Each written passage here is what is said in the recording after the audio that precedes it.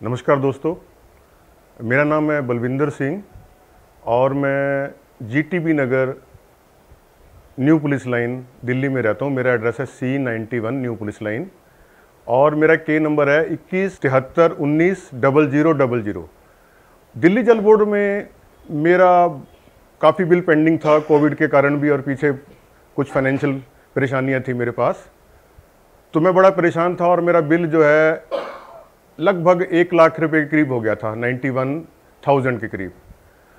और एक दिन जब मैंने दिल्ली जल बोर्ड की साइट खोली तो वहाँ पर मैंने एक स्कीम का पता मुझे चला कि 100 percent L P S C यहाँ पर वेव हो रही है।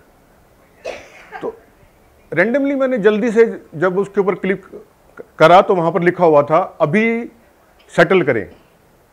तो जब मैंने उसको करा तो चालीस हज़ार रुपया इंस्टेंट एक सेकंड में वेव हो गया।